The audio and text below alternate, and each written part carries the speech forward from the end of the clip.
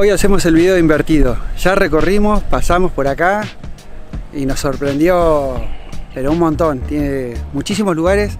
Este es el Parque Nacional Los Alerces, pero es la parte sur, digamos, del parque. No sabía que existía, pensé que era solamente de la presa Futaleufú, que es la que alimenta eh, con la mayoría de la energía la planta Luar de aluminio que está en Madrid. Así que el recorrido es impresionante. Hay un montón de cosas que van a ver, que se van a sorprender, igual que nosotros. Yo la mayoría de las cosas estas las desconocía y como les digo, algunas otras las, sabía por haber escuchado, eh, pero no, no, es hermoso. No se pueden perder este video que no tiene nada, nada, nada de desperdicio.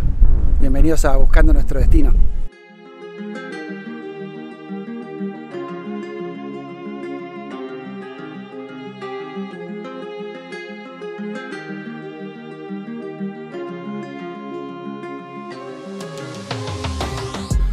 Salimos de Esquel hacia la represa Futaleufú para conocer esos paisajes. Primero tenés que llegar a la bella ciudad de Trevelin, lugar al que tenemos que volver para conocer tantos sitios que nos quedaron pendientes. De ahí seguís por la ruta nacional número 259 por unos 48 kilómetros y te vas a encontrar con esta maravilla de la naturaleza.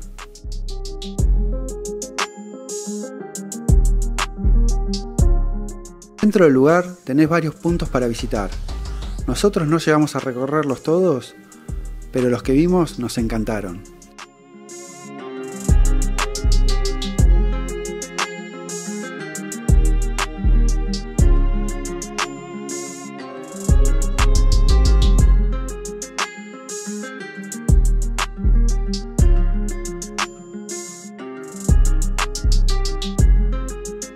Y esto es lo que llegás a ver después de caminar 250 metros acá en el sendero de la cascada de los tambores.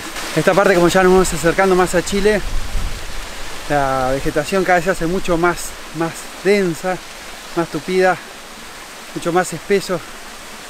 Así que cuando mirás así para arriba, se dificulta mucho más ver más allá de 30, 40, 50 metros. Si tienen la posibilidad, vengan, se los súper recomiendo.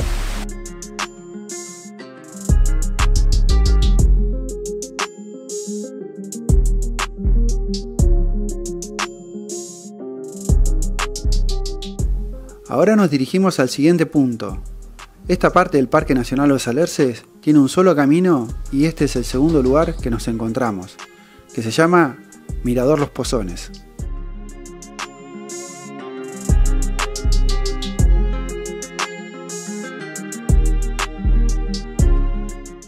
En todos estos sitios se aprecian más los colores del agua cuando el sol está pleno, pero nos tocó un día nublado.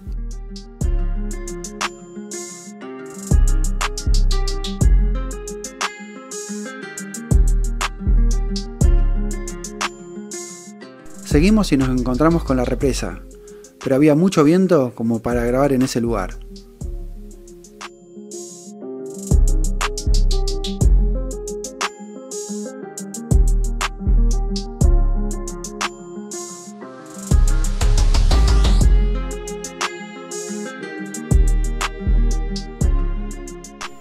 Y ahora nos queda un paisaje de ensueño. Después de cruzar la represa se van a encontrar con ese cartel, y ahí tienen que doblar a la derecha. Y en la primera entrada tienen que bajar y se van a encontrar con esta playa.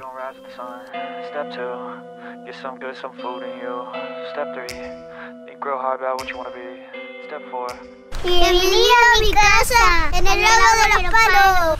Wake up, today's gonna be a good day. Wake up, today's gonna be a good day. Wake up, today's gonna be a good day. Wake up, today's gonna be a good day. Si hay un lugar que superó, pero con crece nuestras expectativas, la verdad que nunca nos hubiéramos imaginado un lugar así. Son muchos palos y te podés llevar palitos. Son muchos palos y te podés llevar palitos, dice mi nene.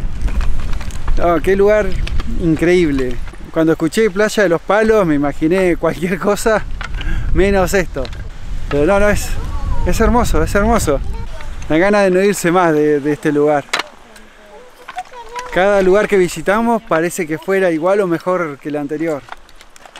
Estábamos enamorados.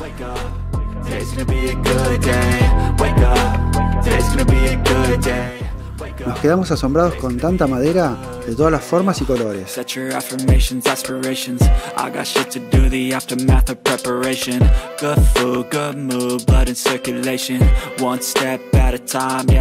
Todos estos restos llegan acá por el viento y son árboles que caen al lago o que quedaron inundados cuando se hizo la represa.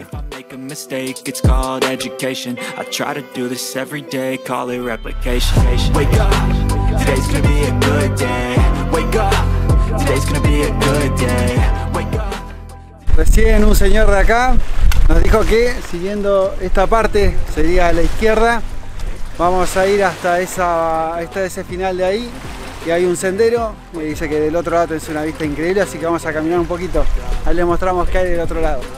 So life ain't easy, yo. I think there's a reason, though. Ups and downs, just like every different season, yo. Sometimes Caminamos y este paisaje nos mantenía cautivado con tanta belleza.